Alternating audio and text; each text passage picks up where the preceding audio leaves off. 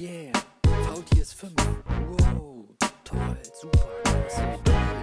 Wow, unbedingt gucken. Wow, du willst es. Hallo YouTube und willkommen zu einer neuen Folge VTS 5. Ihr wisst schon, das waren die 5 Minuten, in denen ich über all das rede, was letzte Woche so passiert ist, beziehungsweise eigentlich nur der Teil, der mich davon so wirklich interessiert hat. Fangen wir direkt an. Spiele News 1, die WoW Beta Mists of Pandaria hat angefangen. Ich habe leider immer noch keinen Beta-Einladungscode, aber mir wurde einer versprochen.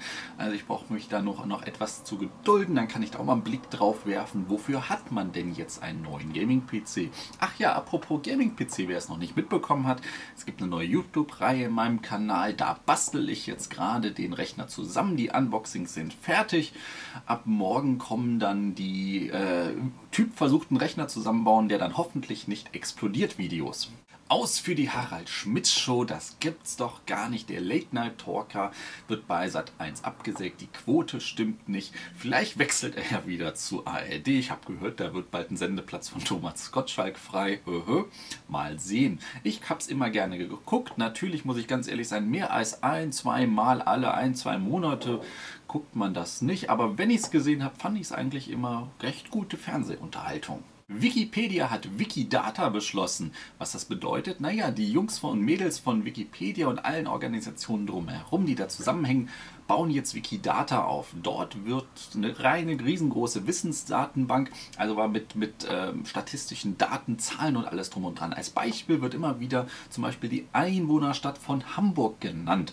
Bisher war es so, wenn ich einen Artikel bei Wikipedia veröffentlicht habe und dann hat sich die Zahl der Einwohner in Hamburg geändert, dann musste die in jedem Artikel einzeln geändert werden. In Zukunft wird es so sein, man kann Verknüpfungen einbauen zu Wikidata, dort zur Zahl für, äh, der Einwohnerzahl von Hamburg Hamburg und wenn, dann muss die nur noch im Wikidata geändert werden und wird automatisch weltweit in allen verlinkten Wikipedia-Artikeln mitgeändert. Sehr, sehr coole Sache. Ubisoft hat verkünden lassen, man arbeitet daran, in Zukunft den Kopiercode wegfallen lassen zu können.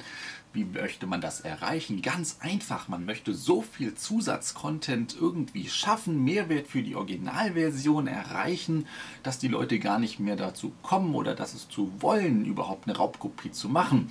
Nochmal zur Erinnerung, Ubisoft waren die, die mit Anno 2070 dahingegangen sind und euren kompletten Rechner analysiert haben. Man hatte das Problem, wenn man Komponenten dann gewechselt hat, wie zum Beispiel die Grafikkarte, dann musste man das Spiel erneut aktivieren, hatte das aber, hatte aber nur drei Codes im Monat. Das war damals ein leichter Aufreger. Auf jeden Fall, die scheinen jetzt geläutert zu sein. Wenn das wirklich klappt, wunderbar her damit. Ich bin mal so, da war sowieso der Meinung, wenn ein Spiel gut ist, der Preis stimmt, dann kaufen die Leute das. Dann sind die Leute sind bereit, Geld für guten Content zu bezahlen. Auf jeden Fall.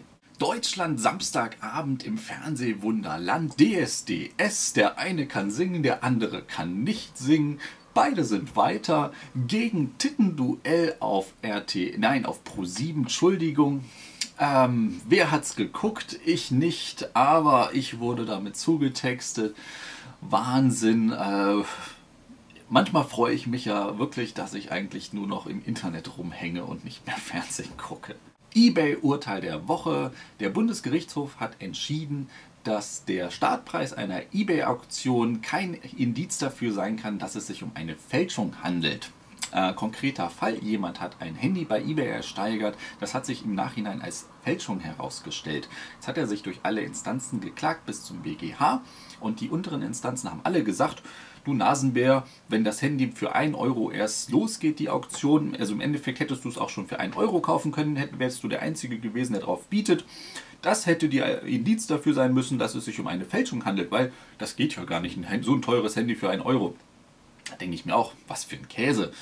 Äh, Auktionen werden doch für 1 Euro reingestellt, um die teuren eBay-Einstellungsgebühren ein bisschen zu senken. Ah, Wahnsinn. Freut mich natürlich, dass der BGH das auch so sieht. Toll. GTA 5 Gerüchteküche. Der Hamster einer Katze der Oma eines ehemaligen Mitarbeiters hat in einem Forum einen Artikel geschrieben und behauptet, GTA 5 kommt nicht vor Mai 2013. Ähm, ob es eine PC-Version gibt, ist noch gar nicht beschlossen. Oh, es wird einen Mehrspieler-Modus für bis zu 32 Leute geben und, und, und, und, und, und alle Welt hüpft drauf. Alle diskutieren nur, ist das echt, ist das nicht, es kann das sein, kann das nicht sein. Ist mir eigentlich wurscht, ich freue mich, wenn das Spiel rauskommt. Ich behaupte aber mal, das wird auf jeden Fall dieses Jahr noch spätestens zum Weihnachtsgeschäft erscheinen. Die wären ja schön blöd, wenn sie das verpassen würden. Nein, das glaube ich und gerade wenn man die Grafik aus dem neuen GTA 5 gesehen hat, so viel Verbesserung kommt da gar nicht mehr. Also müsste eigentlich schon fast fertig sein. Kommen wir aber zum QWERTY-T-Shirt der Woche. Da muss ich gar nicht groß aufstehen dieses Mal. Hier ist einfach nur ein Watson MD. Ähm, naja, das W ist schon im Kästchen. Es ist eine Anspielung natürlich auf House MD. Und hier geht es natürlich nicht um Dr. House, sondern um Dr. Watson, den freundlichen Hiwi-Sidekick von Sherlock Holmes cooles T-Shirt, schöne Farbe, gefällt mir übrigens sehr. Ja, wurde wieder von meinem eigenen Geld gekauft. QWERTY sponsert mich immer noch nicht. Aber was soll's. So, das waren sie auch schon wieder. Meine VTS 5 der Woche sind rum. Das war Folge 23. Macht's gut und bis nächste Woche.